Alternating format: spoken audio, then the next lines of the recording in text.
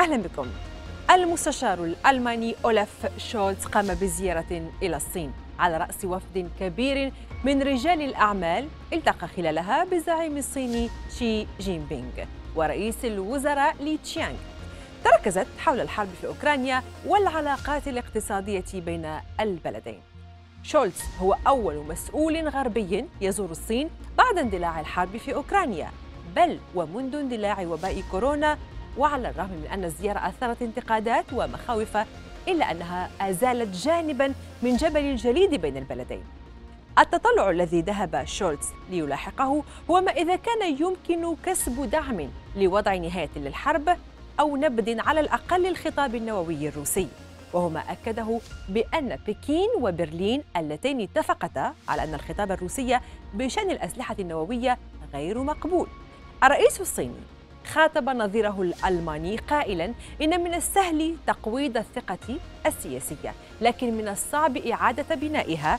وإن على الجانبين رعاية تلك الثقة واحترام بعضهما ورعاية مصالحهما الأساسية. والثقة مسألة اقتصادية بالنسبة للصين وهي تعني أن تكون شريكا موثوقا به يسمح له بالاستثمار وتفتح له الأسواق. بينما تخشى ألمانيا من أن تقع ضحية التبعية للصين من ناحية احتياجاتها الصناعية بينما هي تدفع الآن ثمن تبعيتها لمصادر الطاقة الروسية وتريد أن تتعلم الدرس. فما هي إذن القضايا التي تناولتها القمة الصينية الألمانية وهل ساعدت في تقريب وجهات نظرهما حول أوكرانيا والتجارة؟ ولماذا تعطل التواصل بين قيادة البلدين لعدة سنوات؟ وسط تصاعد التوتر بين معسكر الغرب والصين تأتي زيارة المستشار الألماني أولاف تشولتز إلى بكين. زيارة تشولتز هي أول زيارة لزعيم من التكتل الأوروبي لثاني أكبر اقتصاد في العالم منذ ثلاث سنوات.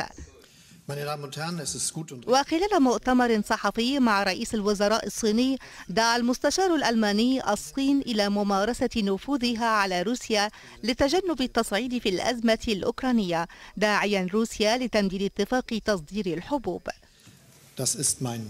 من الجيد أن أكون هنا حيث يتعين على البلدين باعتبارهما دولتين كبيرتين تملكان نفوذا العمل معا من أجل السلام العالمي. كما دعوت بكين لممارسة نفوذها على موسكو لتجنب تصعيد الأزمة الأوكرانية. واتفقنا أيضا أن التهديد باللجوء للخيار النووي أمر غير مقبول. من جانبه أكد رئيس الوزراء الصيني أن إمدادات الغذاء والطاقة الدولية يجب أن تكون مضمونة مشددا على أن العالم لا يمكنه تحمل تبعات المزيد من التصعيد.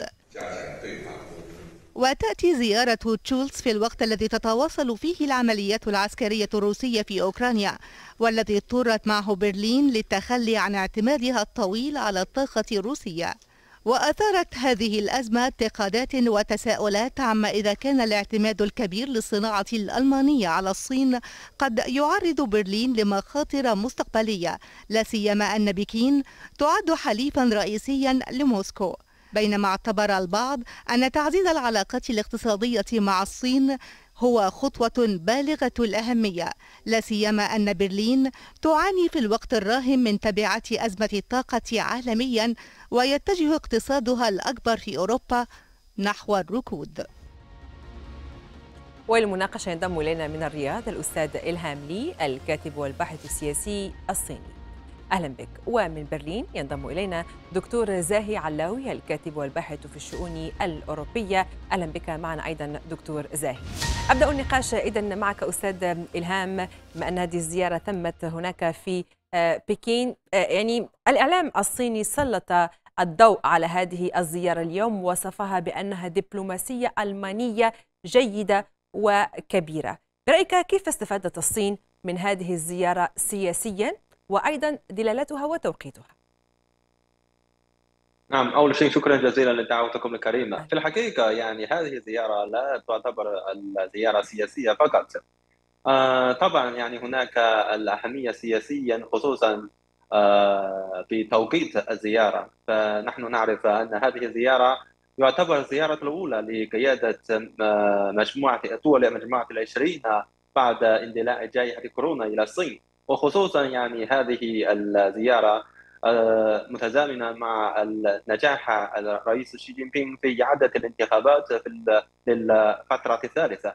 وعلاوة على ذلك يعني آه، هناك تواصل مستمر بين قيادة الصينية والألمانية خلال السنوات الثلاثة الماضية. وخصوصا هناك يعني تبادل البرقية وأيضا التبادل وجهات النظر واللقاء الافتراضي بين الزعيمين. وبالإضافة إلى ذلك يعني إلى آه، إذا نعود إلى التاريخ فنرى أن العلاقات بين الصين وألمانيا كان تبدأ من حيث التجارة والاقتصاد. وخصوصا يعني الصين كانت تبذل جهودا كبيره في جلب التكنولوجيا. وخصوصا مثلا نعم. في آه، تكنولوجيا السيارات وتكنولوجيا الأدوية إلى الصين.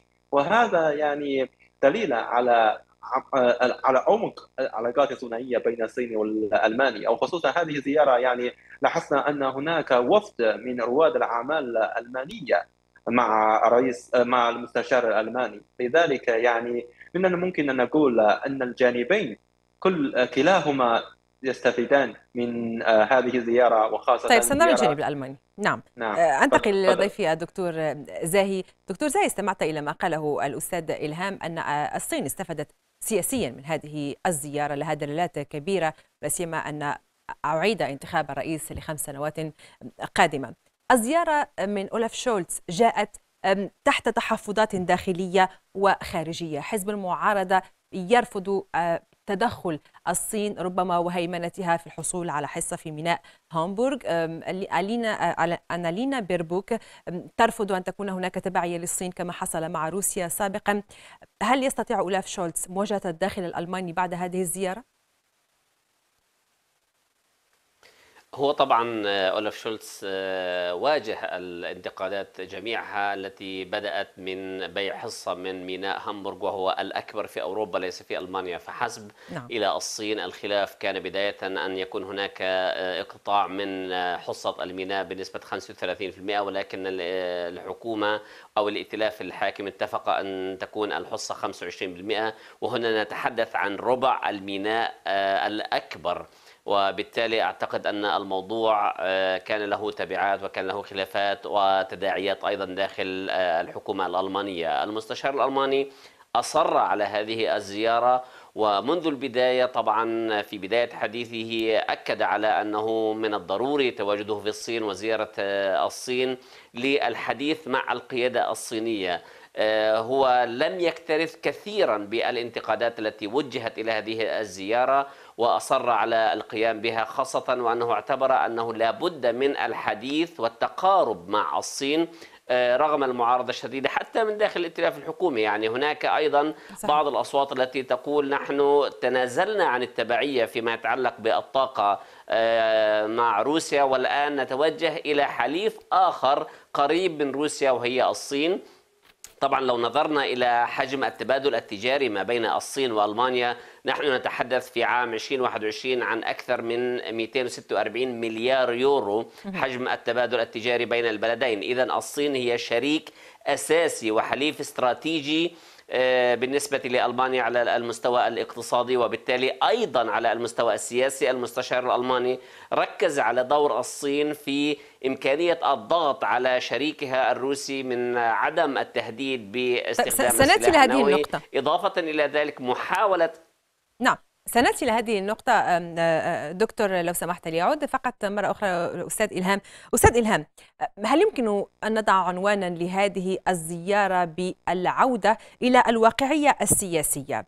بمعنى أن هذه الزيارة أتت بعد أيام من انتقادات أولاف شولتز للولايات المتحدة. ماكرون ينتقد الولايات المتحدة ربما بأن تتبع سياسة سياسة منفردة وقامت بسحب أو تريد سحب الاستثمارات ورجال الأعمال من القارة الأوروبية إلى الولايات المتحدة. وبالتالي هل تعتقد أن الدول الأوروبية الأخرى اليوم ستتبع نفس مسار ألمانيا وتبحث عن علاقات اقتصادية وتجارية قوية مع الصين؟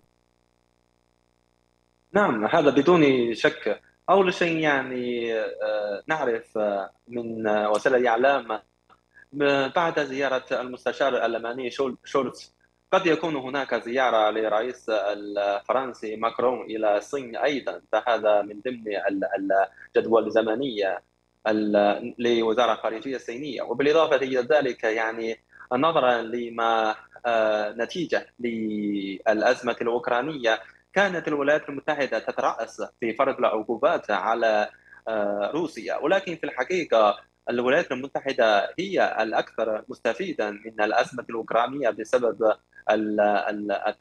تصدير الغاز ولكن من المعان يعاني بالأزمة الأوكرانية الأكثر هو ألمانيا وفرنسا والدول الأوروبية.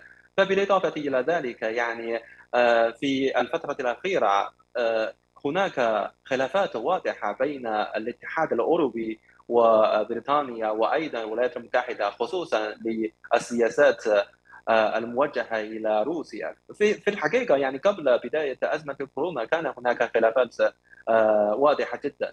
وبالإضافة إلى ذلك إذا نرجع إلى الموضوع العلاقات بين الصين والدول الأوروبية في الحقيقة يعني آه، كان هناك تصريح واضحة من قبل المستشار الألماني خلال زيارته إلى الصين. فأول شيء آه، ألمانيا ستتعاون مع الصين في الحفاظ على النظام العالمي المتعدد الاقطاب وأيضا يعني ستتعاون مع الصين في الحفاظ على آه، نظام التجاري الدولي المفتوحه وبالإضافة إلى ذلك كان هناك التصريح واضحا من قبل المستشار الألماني نعم. آه، إلى في خلال زيارته في الصين إلى قضية تايوان. في الحقيقة آه، نعم كان هناك يعني الاختلافات في التصريحات من جانب الصيني والجانب الألماني في قضية تايوان. ولكن هناك نقاط مهمة جدا آه، كلا الجانبين لا لا ترغب في وقوع الحرب في قضية تايوان. لذلك يعني هناك مصالح مشتركة كبيرة بين الصين والدول الأوروبية بما فيها ألمانيا. طيب أذهب إلى ضيفي أيضا من برلين يعني دكتور هل تعتقد أن هذه العلاقة اليوم هي علاقة تصحيح المسار وهل تعتقد أن برلين تغرد خارج السرب الاتحاد الأوروبي أم أن من يعرف كواليس سياسة الاتحاد الأوروبي لا يمكن لألمانيا أن تذهب في زيارة إلى الصين دون تنسيق مع الاتحاد الأوروبي ولو بالحد الأدنى؟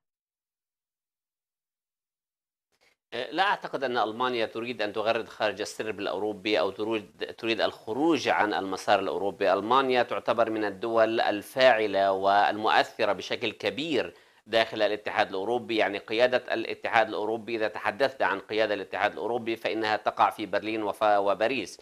وبالتالي لا يمكن لألمانيا أن تغرد خارج السرب وأن تذهب وتخوض هذه المعركة أو هذه العلاقة لوحدها.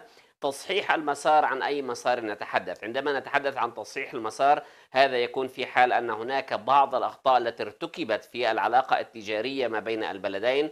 العلاقة التجارية مستمرة ومتواصلة والتبادل التجاري مستمر.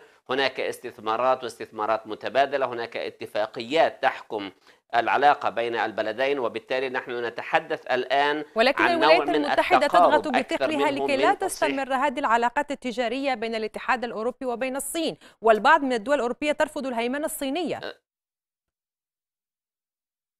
البعض يرفض الهيمنة آه، الصينية والبعض الآخر أيضا يرفض أن يكون هناك هيمنة وتبعية أيضا للولايات المتحدة. عندما نسمع آه، قبل فترة الرئيس الفرنسي يتوسل للولايات المتحدة لعدم رفع أسعار الطاقة والغاز الذي وصل إلى أربعة أضعاف على الأقل خلال فترة الحرب الروسية الأوكرانية وبالتالي هذا إضافة إلى التذمر الألماني من ارتفاع الطاقة. الولايات المتحدة بدأت منذ بداية الحرب بتصدير الغاز الأمريكي الغاز الأحفوري آه، إلى أوروبا واستفادت بشكل كبير آه، من هذه المعركة. إذا الدول الأوروبية بحاجة أيضا إلى شريك يمكن الاعتماد عليه. الولايات المتحدة بعيدة والصين ليست بذاك البعد عن أوروبا وهذا إضافة إلى حجم التبادل التجاري بين البلدين.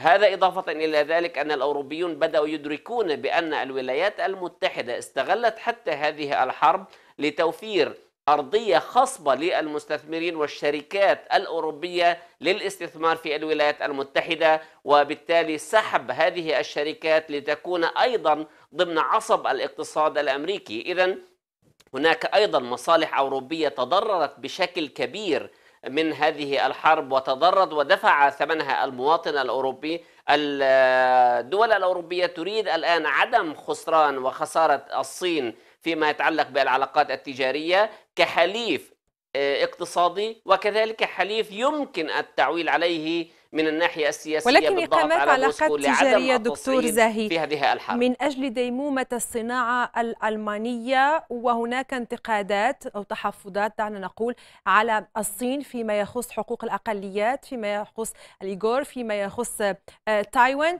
كيف يمكن أن تلعب اليوم أن تحقق اليوم ألمانيا هذه المعادلة بين الحفاظ على علاقاتها التجارية وربما الاستمرار آه، في هذه التحفظات على الصين آه، فيما يخص حقوق الأقليات وحقوق الإنسان. يمكن الإجابة على هذا السؤال من خلال ملاحظة وتحليل الخطاب الصيني والألماني. الرئيس الصيني قال يجب أن نضع الخلافات ووجهات النظر المختلفة جانبا ونركز على القضايا التي نشترك فيها. القضايا التي يمكن أن نتعاون آه، من خلالها وتعميق هذا التعاون وتوسيع هذا التعاون. الأوروبيون أو المستشار الألماني قال بأنه يجب مراعاة حقوق الإنسان وأنه يجب عدم آه، الاعتداء وخوض معركة ضد تايوان وأن يكون هناك تقارب أيضا ما بين الصين وتايوان.